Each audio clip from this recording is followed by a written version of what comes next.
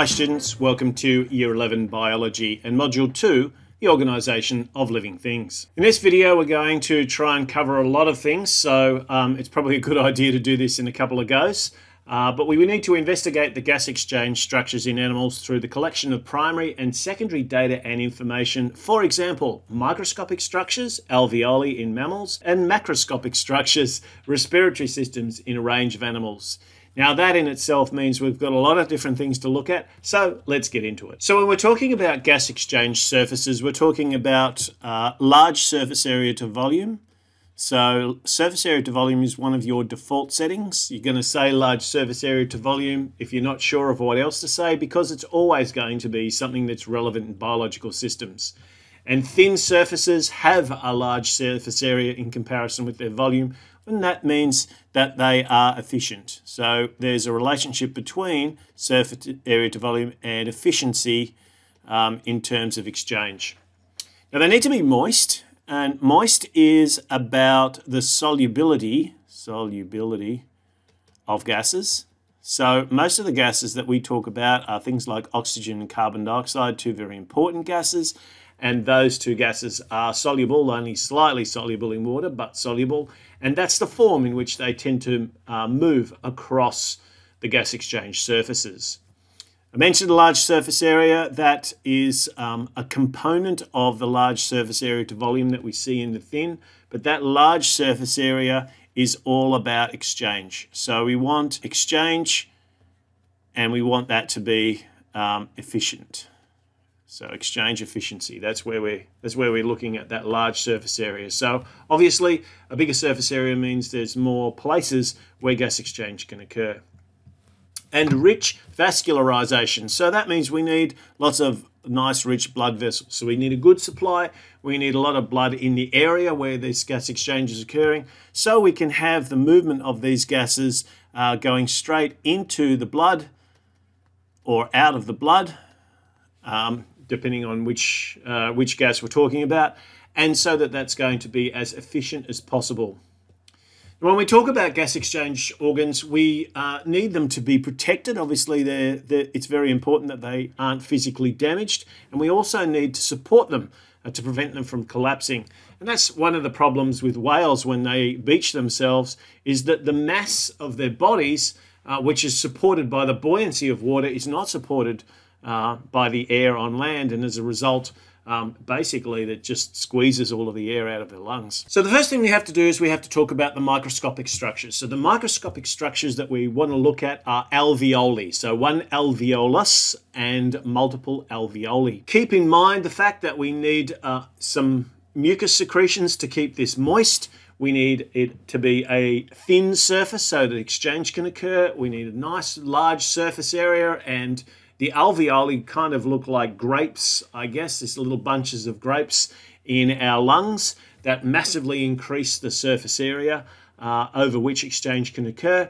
And just inside of each alveolus is, um, on the other side of that, of course, is a blood capillary. So this is continuous with um, mouth. So this is where the air is going to be inhaled and exhaled um, through a series of other structures, which we're not going to talk about in detail now, but include things like the bronchioles, the bronchus, uh, the trachea, and uh, up into the mouth and the nose. The gases are going to come in and out through um, inhalation and exhalation, and then the there's going to be a concentration gradient. So that's the usual thing that we talk about, a concentration gradient. And the concentration gradient is going to allow for diffusion. And diffusion is where we get movement of materials from areas of high concentration to areas of low concentration. So the blood that's passing past the alveoli tend to be low in oxygen. So therefore, oxygen is low in the blood and high in the alveolus. And so therefore, diffusion will take it into the blood system. On the other hand, um, the carbon dioxide level will be high in the blood and low in the alveolus, and so therefore it will go in the opposite direction.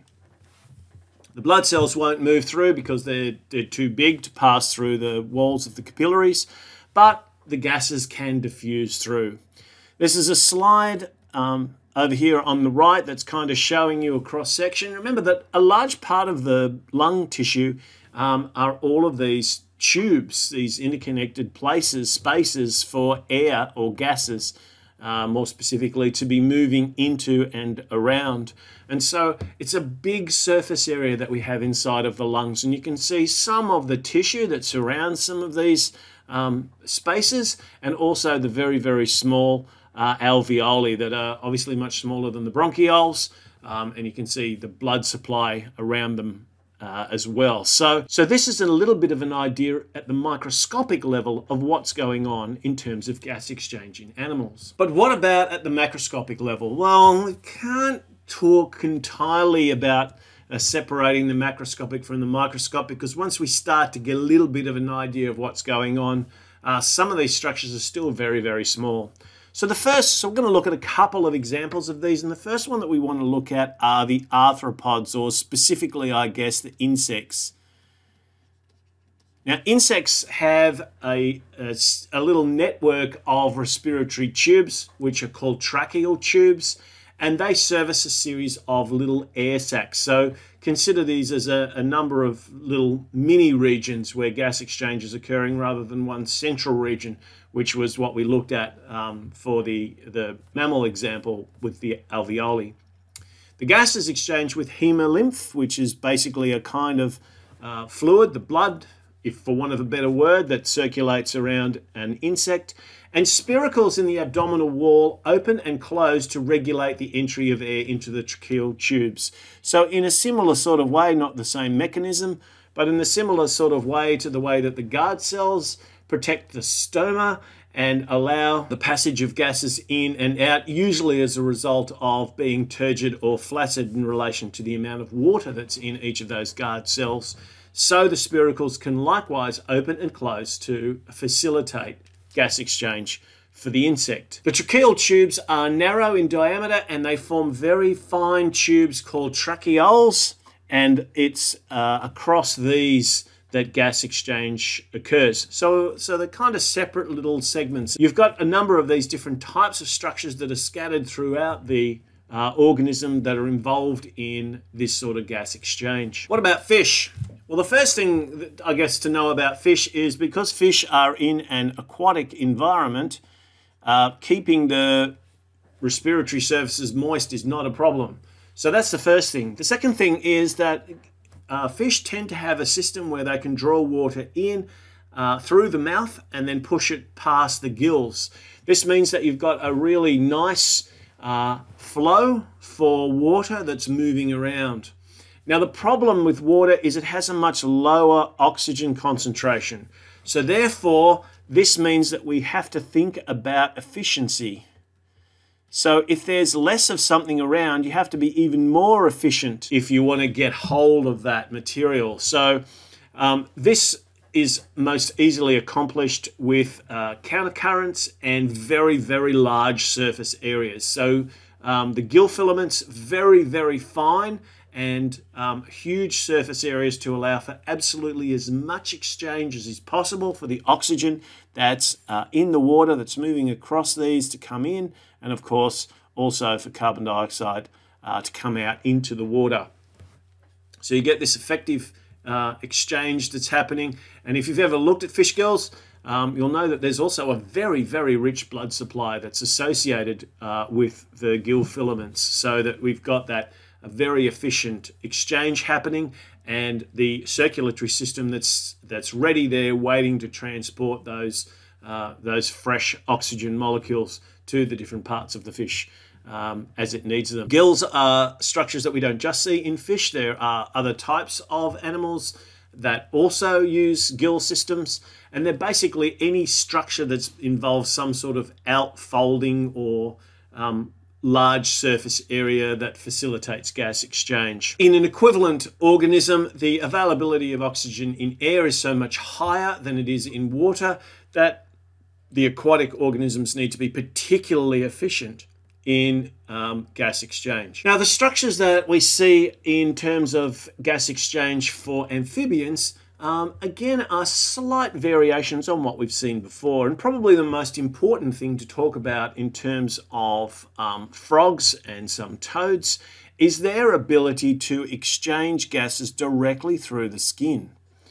Now, you probably are aware of the fact that frogs and uh, other amphibians tend to be have very moist skin, and of course, um, the, the surface of the respiratory systems need to be moist in order for the gases to be able to um, dissolve in the water and therefore diffuse from one place to another.